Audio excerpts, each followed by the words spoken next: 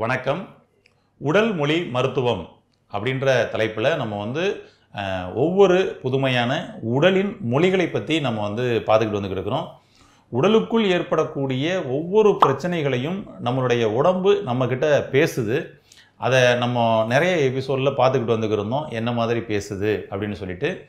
இப்போ நம்ம பார்க்க போகிறது இந்த உடல் மொழி மருத்துவத்தில் இப்போ நிறைய வந்து எல்லா பேரும் வந்து எக்ஸாம் பதட்டத்தில் பயத்தில் இருக்கிறாங்க மாணவர்கள் எல்லாம்.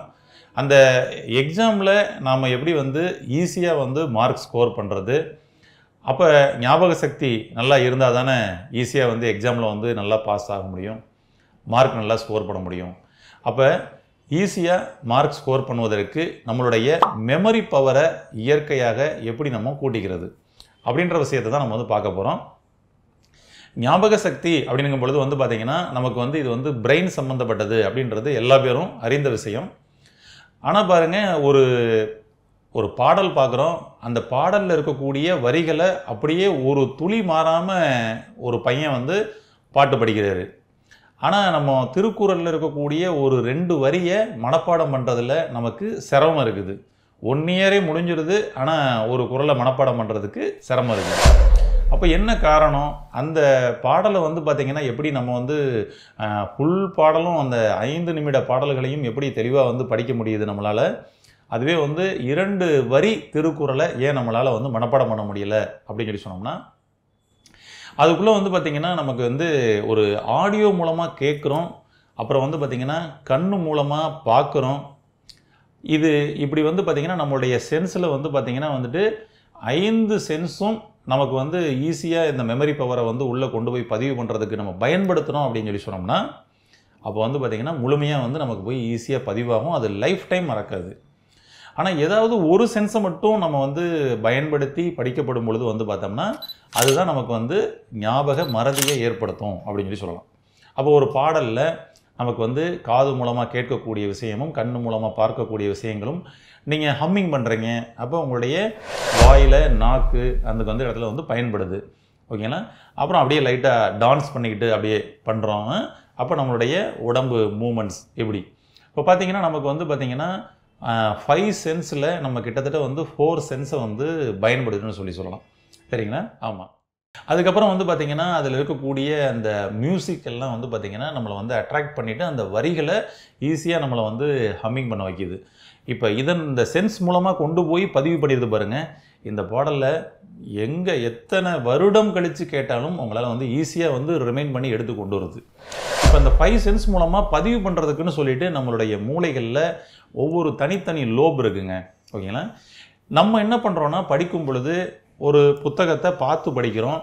இந்த பார்த்து படித்த அந்த பதிவுகள் வந்து பார்த்திங்கன்னா வந்துட்டு நமக்கு வந்து பிரெயினில் ஒரு ஏரியாவில் போய் வந்து பதிவாகுது. எந்த ஏரியா அப்படின்னோம்னா அது வந்து ஆக்சிபிடல் லோப் அப்படின்னு சொல்லி சொல்லுவோம். நம்மளுடைய பின்னந்தலையில் போய் பதிவாகுது. நம்ம காது மூலமாக ஒரு மெசேஜ் கேட்குறோம் சிடி வடிவிலையோ யூடியூப் வடிவிலையோ நம்ம டிவி வடிவிலையோ வந்து காது மூலமாக ஒரு மெசேஜ் கேட்குறோம் அப்போ இந்த காது மூலமாக வந்து கேட்ட மெசேஜ் வந்து பார்த்திங்கன்னா நமக்கு டெம்போரல் லோபில் போயிட்டு வந்து நமக்கு வந்து பதிவாகுது. அதுக்கப்புறம் வந்து பார்த்திங்கன்னா ஒரு ஒரு ஒருத்தவங்க வந்து சொல்லி அவங்க படித்து அவங்களுடைய அனுபவ அறிவுகளை வந்து நம்ம வந்து கேட்குறோம் இப்போ டீச்சர்ஸ் என்ன பண்ணுறாங்க அவங்க படிச்சுட்டு புக்கே இல்லாமல் நமக்கு கிளாஸ் எடுக்கிறாங்க. அதை வந்து அனுபவமாக்கிட்டு நமக்கு வந்து கற்பிக்கிறாங்க. அப்போ அந்த அனுபவ அறிவு மூலமாக கிடைக்கக்கூடிய இதெல்லாம் வந்து பார்த்திங்கன்னா நமக்கு வந்து பார்த்திங்கன்னா ஃப்ரண்டல் லோபில் போய் பதிவாகும். அப்போ வந்து பார்த்திங்கன்னா நம்ம படித்த விஷயங்கள் வந்து பார்த்திங்கன்னா நமக்கு பதிவாகிற இடம் வெவ்வேறு இடம். இப்போ இதில் வந்து பார்த்திங்கன்னா நம்ம வந்து படித்த விஷயங்கள் ஒன்று தெரியல அப்படின்னு சொல்லி சொன்னோன்னா அதில் வந்து பார்த்திங்கன்னா கண்ணு மூலமாக பார்த்து படித்த ப படித்தது அப்படின்னு வச்சுக்கோங்களேன். அப்போ நமக்கு வந்து பார்த்திங்கன்னா நம்மளுடைய ஞாபகம் வரலைன்னா நம்மளுடைய கை பாருங்கள் ஆட்டோமேட்டிக்காக போய் பின்னாடி மண்டையை போய் சொரியும். திரும்ப எடுத்து கொண்டு வந்து நமக்கு கொடுக்கறதுக்காக. இப்பயே புரிஞ்சுக்கலாம் ரைட்டு. அப்போ நம்ம கண்ணு மூலமாக பார்த்த பதிவு அது ஆக்சிபிட்டல் லோபில் பதிவாயிருக்கு. அதனால் அது நமக்கு தெரியலைன்னொன்னே நம்ம போயிட்டு கையை பின்னாடி போய் சொரிவோம். நிறைய தடவை நீங்களே பண்ணி பார்த்துருப்பீங்க. நீங்கள் ஞாபகப்படுத்தி பாருங்கள் அதுபோல் வந்து ஏதோ ஒரு மெசேஜ் அதாவது உங்களுக்கு கண் மூலமாக பார்த்து ஒரு எக்ஸாம்பிள் சொல்லணும்னா ஒரு நபரை வந்து பார்த்துட்டு ஒரு அஞ்சு வருஷம் ஆகுது.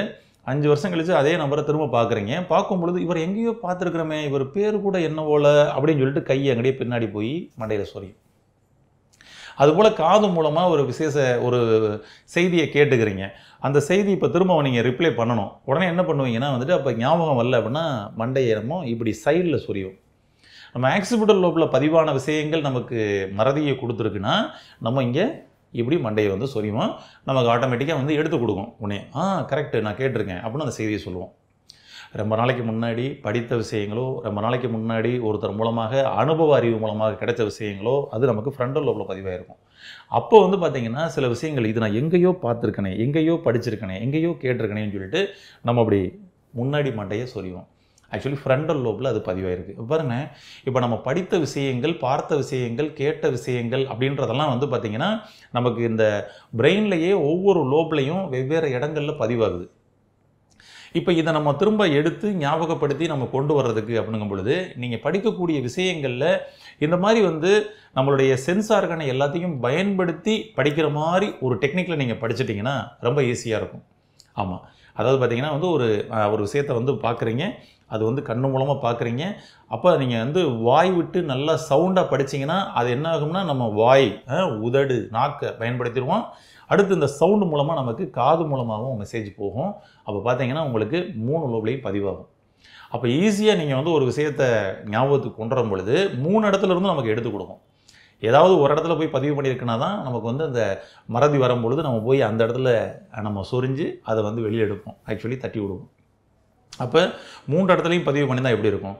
இப்போ நீங்கள் வந்து ஒரு கம்ப்யூட்டரில் ஒரு விஷயத்தை வந்து ஒரு ஃபோல்டரில் பதிவு பண்ணிக்கிறீங்க அதையே வந்து பார்த்தீங்கன்னா உங்களுடைய ஹார்ட் டிஸ்கில் உங்களுடைய பென் ட்ரைவ்லன்னு சொல்லிட்டு மூணு இடத்துல பதிவு பண்ணி வச்சுக்கிறீங்க அப்போ நீங்கள் ஒரு இடத்த இதை சர்ச் பண்ணும் பொழுது என்ன ஆகும்னா ஈஸியாக கொண்டு வந்து டக்குன்னு முன்னாடி காமிக்கும். மூணு இடத்தையுமே டிஸ்ப்ளே பண்ணும்.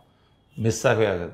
அது மாதிரி வந்து நம்மளுடைய ஃபைவ் சென்ஸையும் பயன்படுத்தி நம்ம ஒரு விஷயத்தை படிச்சிருக்கோம் அப்படின்னு சொல்லி சொன்னோம்னா பரீட்சை ஹாலில் நமக்கு வந்து பார்த்திங்கன்னா எந்த பதட்டமும் இல்லாமல் ரிலாக்ஸாக அங்கே வந்து நம்மளால் கொஸ்டின் எழுத முடியும். இல்லைன்னா இப்படி இப்படி இப்படி தான் நம்ம மண்டையை சுரிஞ்சுக்கிட்டு இருப்போம் பரீட்சை ஹாலில் நீங்கள் கவனித்து பாருங்கள் அப்போனா இதை நம்ம எளிமையாக கொண்டு வர்றதுக்கு இப்படி படிக்கலாம். ரைட்டு நான் எதுவுமே சொரியாமல் அங்கே ஆட்டோமேட்டிக்காக வந்து எனக்கு வந்து கிடைக்கணுங்க. அப்படின்னா அதுக்கு நம்ம ஈஸியான சில டெக்னிக் இருக்குது அந்த டெக்னிக்கும் நான் உங்களுக்கு சொல்லித்தரேன் கால் பாதத்தில் இந்த ஞாபக சக்தியை அதிகரிப்பதற்கு அப்படின்னு சொல்லிட்டு ஒரு லொக்கேஷன் இருக்குதுங்க. ஏன்னா இந்த இந்த லோப்லாம் வந்து பார்த்திங்கன்னா நம்ம கால் பாதத்தில் இதனுடைய நர்வஸ் வந்து முடியும். அந்த கால் பாதத்தில் கால் கட்டை விரல் இருக்குது பார்த்தீங்களா அதுதாங்க டோட்டலாக நமக்கு வந்து பிரெயின் இந்த பிரெயின் ஏரியாவோட நர்வஸ்லாம் அங்கே தான் முடிஞ்சிருக்கும். அங்கே நமக்கு வந்து பார்த்திங்கன்னா வந்துட்டு ஞாபக சக்தியை தூண்டுவதற்குன்னு ஒரு லொக்கேஷன் இருக்குது. அதில் நம்ம தூண்டப்படும் பொழுது நமக்கு வந்து பழைய அந்த ஞாபகங்கள் எல்லாமே வந்து பார்த்திங்கன்னா வரும். அதாவது ஏற்கனவே நீங்கள் அனுபவ அறிவோ அல்லது கண்ணில் பார்த்ததோ காதில் கேட்டதோ மெசேஜாக உள்ள பதிவாயிருக்கணும். பதிவாயிருந்தால் அது எடுத்து கொண்டு வந்து கொடுக்கும். சரிங்களா? படிக்கவே இல்லைன்னா பரீட்சை காலில் ஞாபகம் வராது. படிச்சிருந்த விஷயங்களை ஞாபகப்படுத்தி கொடுக்கும். சரிங்களா?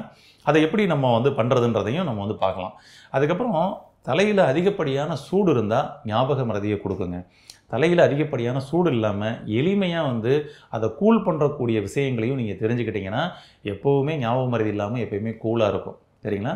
அப்போ ஆயில் பாத் அப்படின்ற ஒரு விஷயம் இருக்குது பார்த்தீங்களா தலைப்பகுதியை சூப்பராக கூல் பண்ணுங்கள் வாரத்தில் ரெண்டு நாள் படிக்கக்கூடிய மாணவர்கள் அனைவரும் வாரத்தில் ரெண்டு நாள் வந்து நல்லா எண்ணெய் தேய்ச்சி குளிங்க. இருபது நிமிஷம் நல்லா தலைக்கு ஃபுல்லாக எண்ணெய் தேய்ங்க க தேங்காய் எண்ணெய் தேய்ங்க கழுத்துக்கு ஃபுல்லாக நல்லெண்ணெய் தேய்ங்க. ஒரு இருபது நிமிஷம் ஊற வச்சு குளிங்க. தலைப்பகுதி நல்ல கூலாகும் அப்படி ஒரு நல்ல கூல் ஆயிடுச்சு அப்படின்னு ஆயிட்டா நீங்கள் படித்த விஷயங்கள் எல்லாமே நல்லா ஸ்டோர் ஆகும். ஸ்டோர் ஆனது திரும்ப நல்லா எடுத்து கொடுக்குறதுக்கும் அது வசதியாக இருக்கும். ஞாபக மறதி அப்படின்ற ஒரு விஷயமே நமக்குள்ளே இல்லாமல் போயிடும் நீங்கள் படிப்பில் வந்து பார்த்திங்கன்னா நல்ல ஸ்கோர் வாங்குவீங்க. ஈஸியாக ஃபஸ்ட் மார்க்கெல்லாம் வாங்குவதற்கான வாய்ப்புகள் அது கொடுக்கும். அப்போ நம்ம கால் பாதத்தில் இந்த பாயிண்டை வந்து எப்படி ஸ்டிமுலேட் பண்ணுறது அப்படின்றத நம்ம வந்து பார்ப்போம். இதுபோல் இந்த நம்மளுடைய உடலின் மொழி மருத்துவத்தில் இன்னும் நம்மளுடைய உடல் உடலில் எப்படியெல்லாம் வந்து நோய்களை எப்படியெல்லாம் நமக்கு வந்து அறிகுறிகளாக எப்படியெல்லாம் வந்து அதனுடைய மொழி மூலமாக சொல்லுது அப்படின்றத அடுத்தடுத்த எபிசோடில் பார்க்க இருக்கிறோம். நன்றி.